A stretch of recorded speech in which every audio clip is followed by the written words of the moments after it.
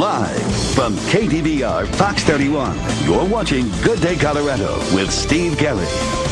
Let's go to my partner, meteorologist Chris Tomer. He's live in Denver. And Chris, one homeowner is really relying on the power of the sun. Absolutely, Crystal. Good E-team story for us. We've been talking about this house behind me all morning long. We had uh, the operations manager from Sunflower Solar, the company that installed the panels on this house and the solar system. We also talked to the homeowner earlier, and everybody seemed to be in agreement that this is the future. This homeowner decided, you know what, she's had enough of the, the rising cost of energy. She also wanted to contribute to a healthy environment. Uh, all that sort of merged, and she said, okay, I can afford this now. Solar is affordable. She picked the package she wanted, and they came out and installed it, and now she's running her house 100% solar. Obviously, it's a little bit cloudy today, but it doesn't matter because uh, when the sun does come out, that's all she needs to power her house, and uh, it has become affordable, as I was saying. Xcel now kicks in 60% of the cost on a project like this. It is truly uh, what was once theory. Now it's become reality. So uh, Ken and Crystal and Shaw,